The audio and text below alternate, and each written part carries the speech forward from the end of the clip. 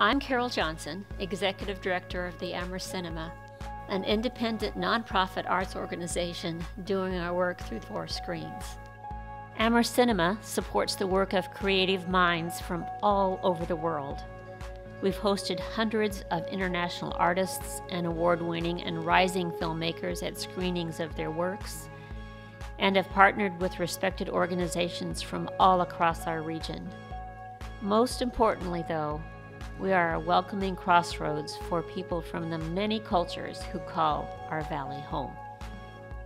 Scientists, musicians, and film experts expanded our horizons with programs such as Science on Screen, Film School in 60 Minutes, and Jazz a la Mode.